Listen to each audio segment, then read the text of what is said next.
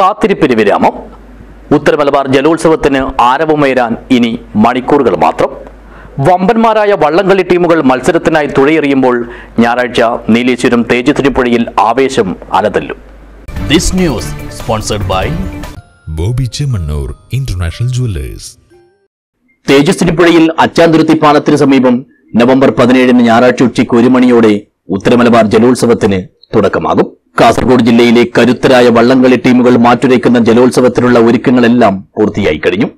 ഈ ഒരു വള്ളംകളി മത്സരം വരും നാളുകളിൽ വിപുലമായ രീതിയിൽ നടത്തണമെന്നുള്ളത് തന്നെയാണ് ഉദ്ദേശിക്കുന്നത്.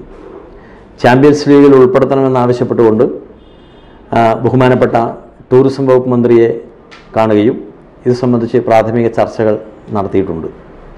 മന്ത്രിയുടെ ഭാഗത്ത് നിന്ന് അനുഭാവപൂർവമായിട്ടുള്ള സമീപനമാണ് ഇക്കാര്യത്തിൽ ഉണ്ടായിട്ടുള്ളത്.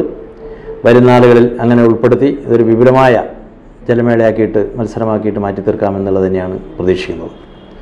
നമുക്ക് സാധ്യതകളേറെയാണ് കൗവായി പുഴയുടെയും തേജസ്വിനി പുഴയുടെയും സൗന്ദര്യം പ്രകൃതി രമണീയത വളരെ കൂടുതൽ ആളുകൾ ആസ്വദിക്കുന്നതിന് വേണ്ടി എത്തിച്ചേരാറുണ്ട്. ഈ ജലോത്സവം അതിന്റെ എല്ലാ അർത്ഥത്തിലും വർദ്ധിത ജനപങ്കാളിത്തം കൊണ്ടും മികച്ച സംഘാടനം കൊണ്ടും എപ്പോഴും ശ്രദ്ധയാകർഷിക്കാറുണ്ട്.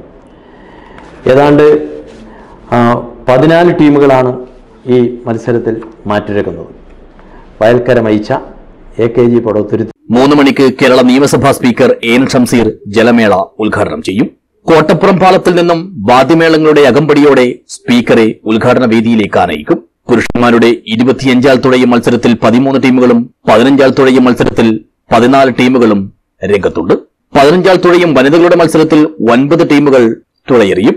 A K G Padothuruthi Vayalkkara Mayyichcha A K G Mayyichcha Vishnumoorthi boat club Kuttivayil new brothers Mayyichcha Vayalkkara Vengatt Azhikode Nachanthuruthi Palicho Nachanthuruthi red star Karyankode Krishnapillai Kavanchira E M S മുഴക്കിൽ എന്നീ ടീമുകളാണ് മത്സരരംഗത്തുള്ളത്. ഇതിൽ മൂന്നോളം ക്ലബ്ബുകളുടെ B ടീമുകളും മത്സരിക്കുന്നുണ്ട്. വൈകുന്നേരം അഞ്ചു മണിയോടെ മത്സരം പൂർത്തീകരിക്കാനാണ് സംഘാടക സമിതിയുടെ തീരുമാനം. News bureau Cheruvathur.